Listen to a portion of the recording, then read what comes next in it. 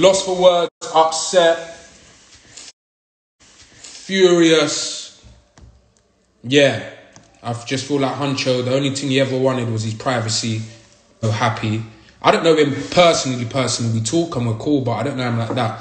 So this is just I can only assume. But I feel like that's what made him so happy. The fact that he could reap the benefits of something that he enjoyed doing and still be himself and be an ordinary person to his family and the, the, the loved ones around him. So I'm pissed. I'm furious for the guy, fam. I can't imagine how he feels. If I'm pissed, blood, he must be. Oh. You know what it is? Because when, when I also know him personally, my name before this this music thing, and um, he's always been a private guy in general. Mm. Yeah. So his main thing about this music thing in general was just to stay private, stay anonymous, stay incognito. Yeah. So Mm. for someone to expose the fact how expose how he looks, etc. If that's if that's even him, um, it's just brazy for me. Brazy man. Did someone expose it? That's that's the, that's what it was. That's what I've seen on these blog pages. Apparently, someone exposed it by purpose or something. That's what I heard.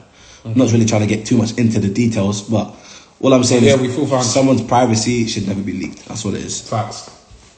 Yeah.